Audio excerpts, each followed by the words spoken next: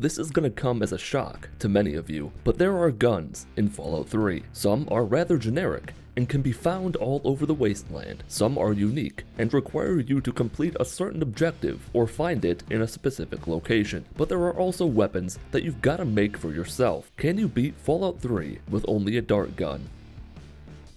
I was born, became a girl, realized quicker than most newborns that it's nerf or nothing, cracked my knuckles, and opened a book. The dart gun, as the name cleverly implies, is a dart gun, meaning it's a gun. So small guns is the main skill we're working with. Small guns is agility, so max that out Luck gives a slight bonus to all skills as well as critical hits, intelligence for a reasonable amount of experience points per level, and the rest just sorta spread out to have an alright carry weight and durability. You don't know this yet because I haven't told you yet, but the dart gun is really a weapon for only the sneakiest of creatures, which is why it's perfect for me. I once again tried to cut off Butch's head, someone had stolen an important part of my forearm, and even using my powers as a god to restore the Pip-Boy to my arm did not resolve the problem. Restarting the game did, but it shouldn't have taken such a drastic move to fix the problem that I might have caused myself. Here's a fun fact, I started this run before the Chinese pistol run. I thought it'd be funny to glitch through the wall, kill a random person like that guy from Hey Arnold did, and see if they'd still be alive several years later. Palmer was the perfect test subject because she'd be dead anyway. As she pummeled me, I had an idea for another video, a Fallout 3 suicide speedrun. See how quickly you can die. Before returning back to my original path, I left everyone a replacement cake for the one the synth destroyed, phased through the wall, shot the bug, picked small guns, medicine, and sneak as my tag skills, and checked on old lady Palmer. She is still dead, so it's not a total flop, but I couldn't tell if her death was on my hands or the roaches. It's entirely possible that the children didn't consume her body after I gave it to them as a gift, at my birthday party I might add. Then the overseer, so distraught over losing his mistress, covered her naked body with a vault suit and left her on the floor, where she'd spent so much of her life. That really could have happened. After threatening to shove a snow globe into Amata's skull through her ear, I got the key, borrowed some ammo, made my fantastical escape,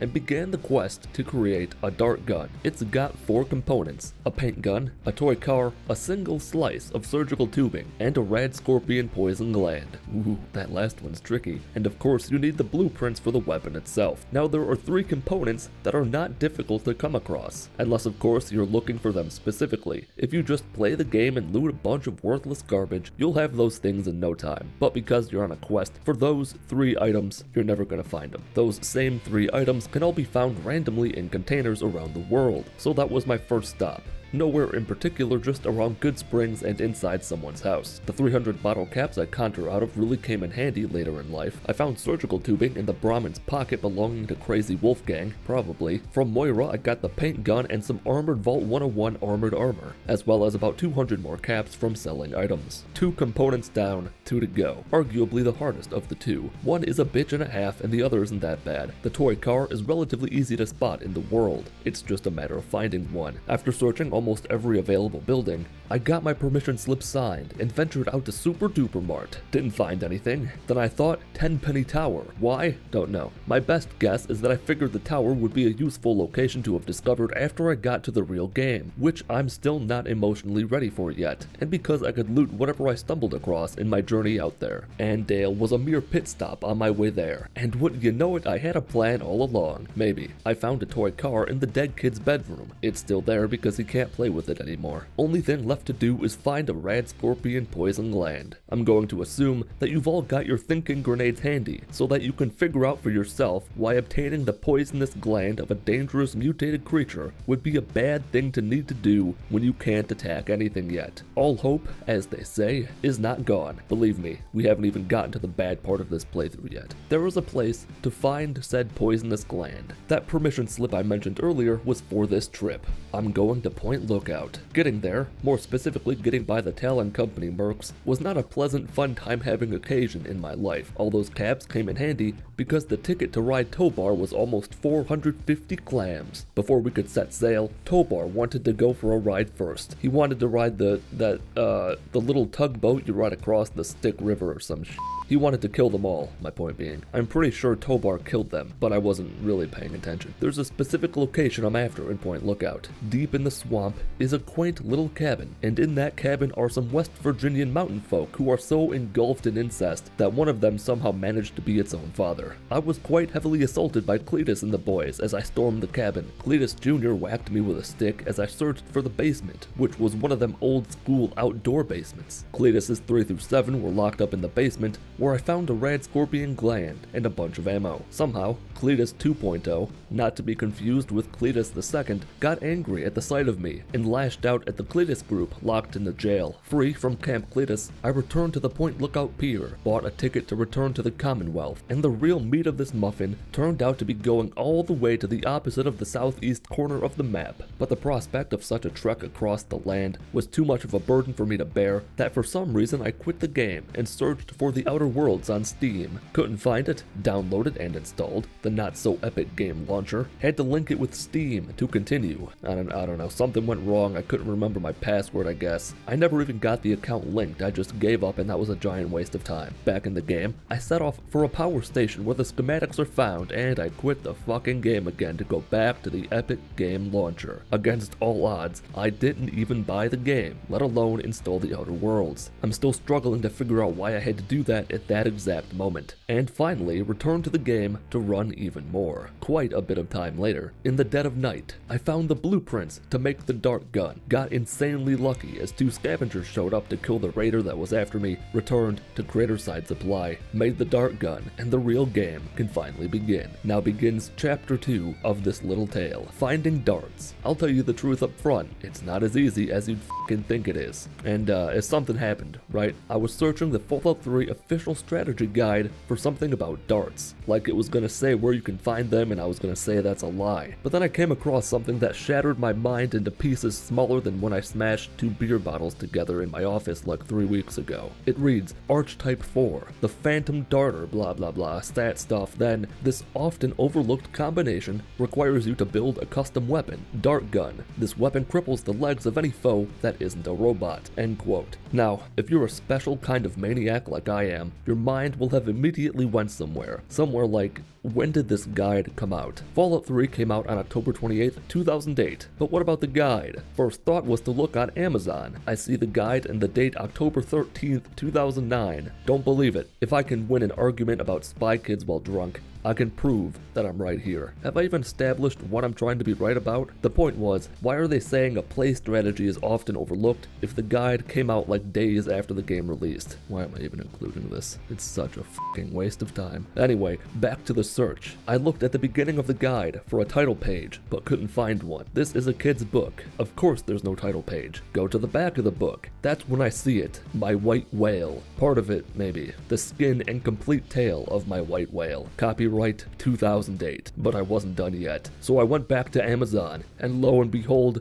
the publishing date which proves my entire point. I've never felt more vindicated or slightly concerned that I just wasted a minute and a half on this complete fucking nothing of a story. Believe it or not, it had a purpose. It was a metaphor, an allegory, if you will, about my worldwide search for darts. They're supposed to be usually sold by most vendors, but they never were. I spent like half an hour scouring the world and found none, so I put the idea off for a small amount of time, like 50 days. I had no ideas, but I just hoped that the great Todd in the sky would be on my side. Forgot that the game was still in German from my last video, had to download Fallout 3 again. Nobody in Rivet City had any darts, so I went outside to fast travel somewhere and my Pip-Boy doesn't work. It's rare for that to happen twice in one video. With it fixed, I waited about 5 or 6 days for vendors to restock. Checked Megaton, no darts. Checked Tenpenny Tower, no darts. Checked Lucky Harith, who is specifically mentioned in the Fallout wiki as frequently carrying darts. No darts were found. Checked Rivet City again, still no darts. So I tried something. I added 10 darts to Shrapnel's inventory. They were available for one cap per dart, and I came to my own conclusion conclusion based around not wanting to end the challenge. I'll tell you what I did, then explain why. I would console command an amount of darts into my inventory, but at a much higher cost. I added 250 to my person at the cost of 637 caps. I put a 150% markup on the darts because I'm a man of honor. Now for the reason why. I could have scavenged the wasteland and eventually found a few darts, but that would have made it closer to a pacifist run than a weapon restricted challenge. If I only attack like 8 things in the entire playthrough because ammo is so scarce, it almost ruins the point of the challenge. It's more about how restricting yourself to a specific weapon that is often overlooked makes the game harder and how bad that weapon is. Back in Diamond City, I sneakily fired a dart into Colin Moriarty's skull at Mach 3. The bartenders didn't appreciate that. It wasn't the dart that set them off, that was as quiet as a mouse falling through the sky. It was his skull exploding with the ferocity of a small-scale nuclear weapon that set them off. As for the dart gun itself, it's not great. I don't think it's as bad as the Chinese pistol though. I almost feel like the dart gun is more similar to the syringer rather than the paddle ball. The dart gun in its current condition only does about 4 damage per shot, but then targets lose some amount of health per second for 8 seconds. However, it's treated as a sneak weapon, so it's got a noticeably higher chance for critical shots, and those shots do more damage than they do with other weapons. Possibly. I'm pretty sure I got that right. One of the downsides is that you're firing a dart, not a bullet. You do have to take into account the time it will take to hit the target. That's not something you're used to doing in Fallout 3, so it's harder than you'd think to hit moving targets. Before leaving, I raided the pharmacy for anything useful I could find, activated a robot man to help me fight the oncoming raiders. He died, I'm not sure if he even did anything at all. I left, sold a bunch of stuff to the armory guy at the tower, sold more stuff at Rivet City, and set off for GNR Radio. The mole rats, as expected, could be knocked out with a single dart. They're very weak-minded creatures, just like the people from wherever you're from. Feral ghouls thankfully only take one or two darts to kill. Two darts, with help from a few of my Radroach cousins, took down a super mutant. Pretty impressive stuff. It can also cripple people, but something about crippling ghouls makes me think they're actually faster when crippled. It's weird. Super mutants in generally though, are most likely tougher than you'd think. I guess that depends on how tough you thought they'd be. If you thought, no sh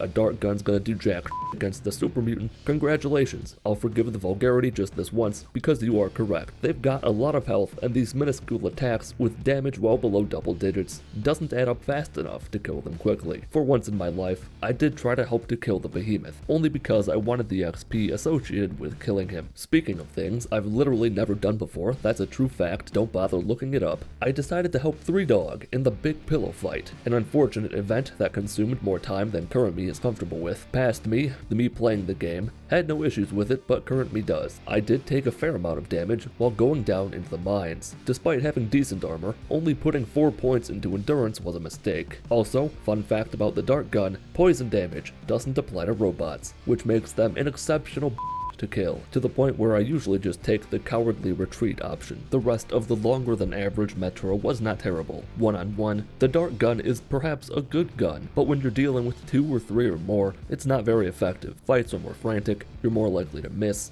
it takes a second to reload and you're taking more damage, it's a clusterfuck. Out of the mines, I emerged out into a minefield. That's what this should be called anyway. The path to the Independence Pole thing is filled with high-level mutants. A smart mitten would have ignored them all and entered the Museum of Freedom. Instead, I used the weapon until I drained damn near 10% from its condition. I spent somewhere around 10 darts, maybe up to the low 30s. These are big numbers we're working with here. With the location discovered, I waited for several days and made the rounds at the usual vendors, selling what I'd collected. Then, guess what? I cheated again. This time, the darts were far more expensive, 850 caps for 200 darts. Rather than running right towards the giant rebar art piece, I ran for the building capital, just in time for Talon Company mercs to be battling state representatives of whatever state you don't like. This is the Mad Libs episode of Mitten Squad. All I had to do was clean up the scraps, a more time-consuming endeavor, and I could enter the building to keep the party alive. The Berg Club guys were easier to kill than anticipated.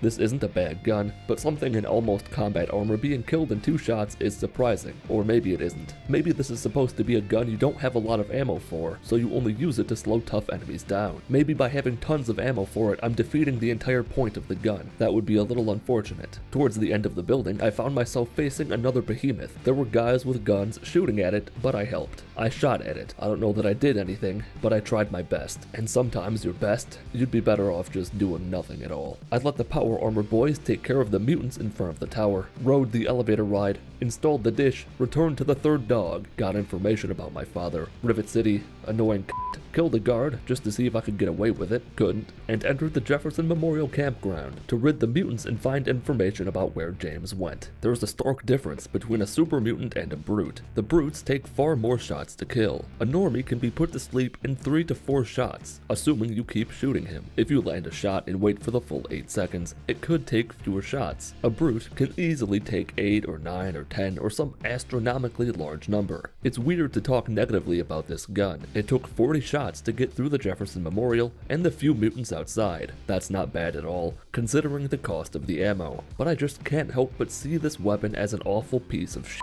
With the memorial cleared, my next stop was William Cassington's Automobile Emporium. Once there, I took a moment just to see what the dart actually looks like when it's fired. It's all a dream, the Matrix, communism, a magic door, dad's awake, lovely, time to tease that little bitch. First, I knocked him out, slowly, just because I can. You can tell by my voice that I'm daddy's little girl. I knew he'd never hurt me. Basically, I just wanted to see if I could lure him outside and across the wasteland. I just wanted to see how far he'd follow you. Turns out it's to the door that leads outside.